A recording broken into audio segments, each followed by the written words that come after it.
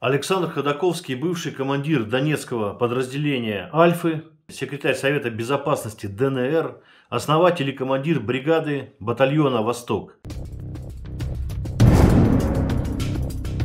За что, собственно, вот человек с позывным «Скиф» вот да, вот сейчас, если, не дай бог, вот обострение, встанет в строй, опять возьмет в руки оружие, за что будет воевать? Или не будет воевать, да? Вот. Ну, оружие, оружие, Юра, извини, пожалуйста, что не, не дал тебе закончить. Вот оно здесь, да, висит на поясе. Другое, и еще какое-нибудь, стоит там, где положено, в сейфе. А что поменялось, собственно говоря, с 2014 года? Поменялось только одно – осмысление тех мотивов, которые нас так двинули в какую-то кашу в это все. Да? То есть произошло, ну, наверное, взросление как внутреннее. Тогда мы ведь вот все такие на пассионарности, на таком каком-то подъеме. Я говорил про свечение отраженным светом. Так вот, мы носили в себе какое-то свое внутреннее начало, которое нами руководило. А болтали мы, будучи увлеченными вот этим вот свечением.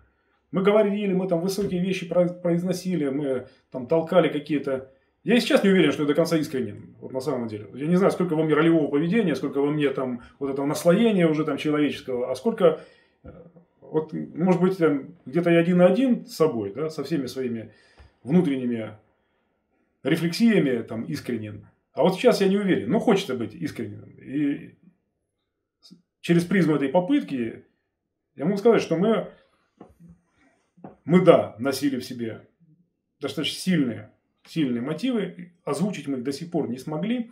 То, что мы наболтали, во многом соответствует, конечно, но это как вот обертка на конфете. Когда ты смотришь на конфетку Маша и Медведи, ты не до конца понимаешь, только по памяти, по вкусу, когда ты это ел, из чего состоит эта конфета, там, да, условно говоря. Так и здесь. Все, что мы болтали, оно, конечно, отражает наше внутреннее содержание. Но сейчас вот, когда мы пережили уже разные фазы за эти 7 лет, вот даже если взять мою там, биографию этих последних семи лет. Там, чего только не было. У меня там штуки две или три бумаги валяются, которые мне выдали на границе, что я не въездной в Россию, мне отказ въезжать в Россию. Потом меня не пускали из России сюда. Когда я туда в конце концов прорвался, и там в течение больше года я не мог сюда на территорию заехать. Я, я вынужден был вызывать своих офицеров, вот в Новошахтинск, куда-нибудь в Ростов они приезжали. Мы там даже годовщину патриотических сил Донбасса в Ростове в каком-то там, не знаю, там подходящем здании отмечали, потому что я не мог только сюда заехать. Из одного меня тут волокли туда там, сотни человек. И, а, кстати, на улице рядом с ростовским управлением ФСБ, как ни странно. Наверное, специально подгадали, чтобы легче контролировать было. Так вот, казалось бы, были какие-то там ситуативные взлеты, были какие-то нагрузки, там, я не скажу падение, а что такое падение? Падение это когда ты вот был кем-то, стал никем, да. А кем я был тогда? Я был человеком с автоматом в руках. Я так и остался человеком с автоматом, с автоматом в руках. Ко мне пришли люди. Я в силу того, что имел, ну, по принципу, кому больше дадено, с того больше и спросится, имел больше опыта, больше знаний, больше понимания. Я их структурировал, я же не вложил в них, в, их головы, их мотивы. Их мотивы просто были созвучны моим, а я просто приложил свои организаторские способности для того, чтобы ну, сделать этих людей максимально эффективными, создав из них какое-то подразделение. Так вот, но я так каким был, таким и остался. Являюсь носителем этих знаний, этого опыта, умножив это в какой-то степени. Но самое главное, я функциональная единица о двух ногах и двух руках и о каких-то рефлексах, которые я за свою долгую военную практику, там не военную, а спецназовскую, приобрел. И я носитель того, что всегда сидела, наверное, еще с подросткового возраста во мне, но я по-взрослому смог это оценить вот только сейчас, когда себя вдоль и поперек исследовал на предмет того, сколько во мне было ложного и ситуативного в моих этих порывах, а сколько было настоящего, я пришел к выводу о том, что ну, я не мог подвергать свою собственную жизнь, жизнь очень близких мне людей, жизнь моих друзей, вновь обретенных друзей, только потому, что я вот что-то подхватил, там кто-то кто бросил клич про русский мир, и мы тут раз увлеклись этой идеей. Нет. Это, это наша земля. Раз. И не просто потому, что у нас какой-то такой очень развитый региональный патриотизм, а потому что это наша земля часть огромной земли. Но здесь не в просторах территориальных ведь дело. Есть такое выражение ойкумена, да? То есть, я не в буквальном смысле сейчас говорю, но есть, есть какое-то пространство, которое наполнено не только черноземом и той флорой, которая там растет, и живностью, фауной, которая там бегает, но еще и каким-то духом, каким-то смыслом. Сейчас это достаточно паф, паф, пафосно звучит, но если тихо, по-простому, по внутреннему, сердечному своему состоянию и отношению к этому, это твоя родина. Да? Это твоя родина. Я понял одно, что, и опять же, простите меня за этот пафос, что мы все-таки истосковались на самом деле по этому понятию все эти годы этой так называемой независимости. Потому что мы имитировали тогда Родину.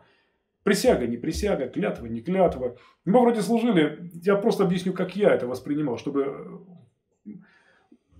устранить этот внутренний конфликт, это, это, этот, этот диссонанс внутренний, что я служу и принимал присягу стране, которую я не то чтобы не люблю, но я ее не считаю каким-то образованием, которое имеет корни.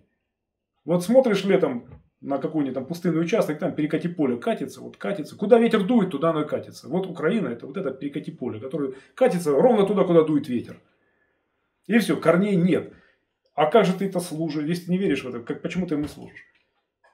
А вот тут включается вот этот региональный патриотизм, опять же. Я сижу вот здесь, в этом месте, в этом кресла этого не было, а стол этот уже фиг знает сколько, этот кабинет уже фиг знает сколько существует. Я в нем провел уже там не один десяток лет.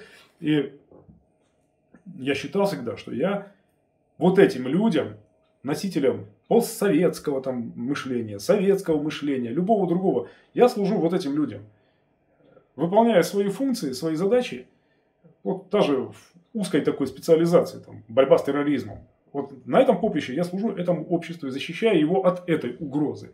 И во мне тогда конфликт этот каким-то образом иссякал. Я понимал прекрасно, что служить людям – это достойно, это правильно. Так вот, когда вся эта история случилась, мы служили людям. До нее мы служили людям, я, другие.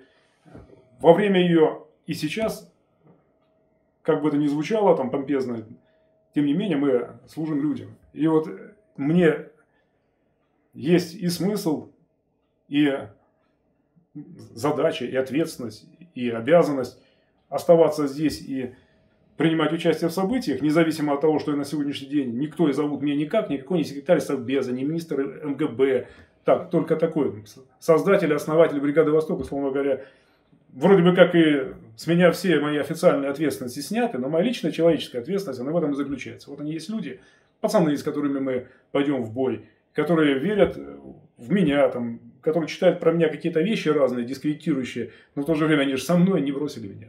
Какое право я имею бросить их?